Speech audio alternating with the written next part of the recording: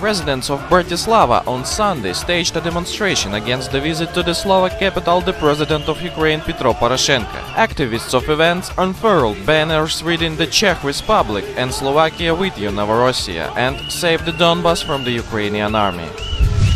Earlier, citizens of Basel, Switzerland, staged a demonstration against sanctions against Russia and in support of Donetsk and Lugansk People's Republics. Activists of event held flags of DPR, LPR and Novorossiya.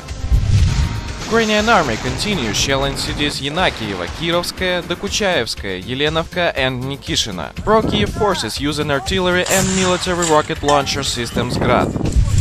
As Kiev continues to amass its forces in eastern Ukraine despite the ceasefire and use radical nationalist groups as armed battalions, Moscow is concerned about possible ethnic cleansing there. Russian President Vladimir Putin told ARD in an interview. Speaking with Hubert Seipel of the German channel ARD ahead of the G20 summit, Putin warned of catastrophic consequences for Ukraine if the Kiev government continues to nurture radical nationalism and Russophobia, including in the ranks of its military and National Guard units that are still being sent as reinforcements to the country's troubled east.